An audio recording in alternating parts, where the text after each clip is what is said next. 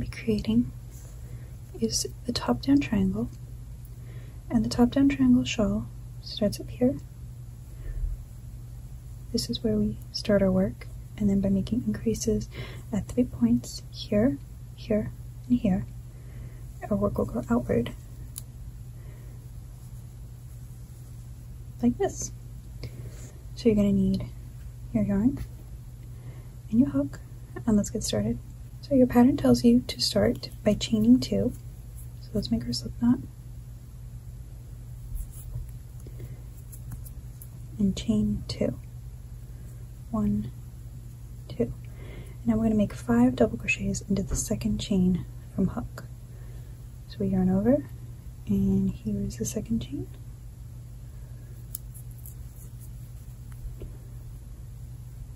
That's one, two, three, four, five. You can pull that loop closed. And here we start. So now row one, we're going to chain two. We're going to do three double crochets into the first stitch So this is our first increase.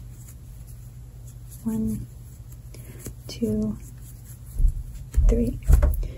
And now I do one double crochet in the next stitch. And then three double crochets in the next stitch. This is our middle stitch. One double crochet in the next stitch. and then in the last stitch we put three double crochets.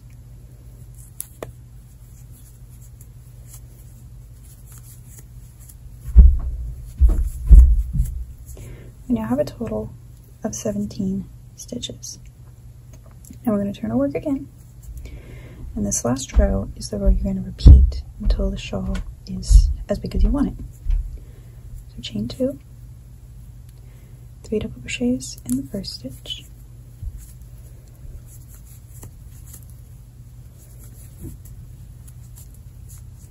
Now you're going to do one double crochet in each stitch until you reach your previous row's three double crochet until you reach the middle stitch of that little cluster.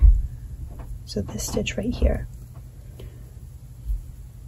One double crochet in every stitch until we reach that one.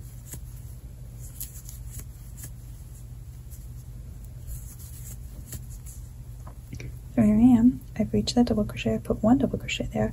We need a total of three.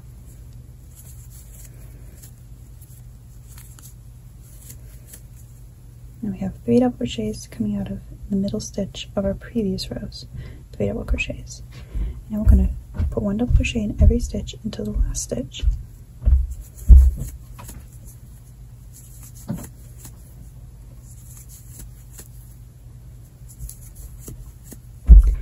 and I'm going to put three double crochets in this stitch.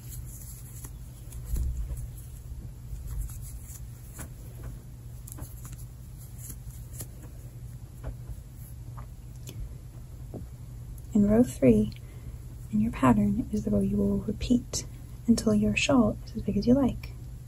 So by putting your increases in the beginning and end in the middle, your shawl just naturally wants to go outward.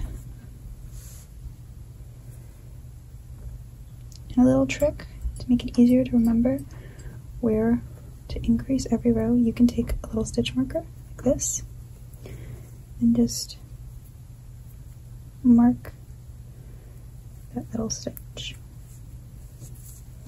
And that way when you work to it, you know to put three double crochets in that. And you can just move it up every row.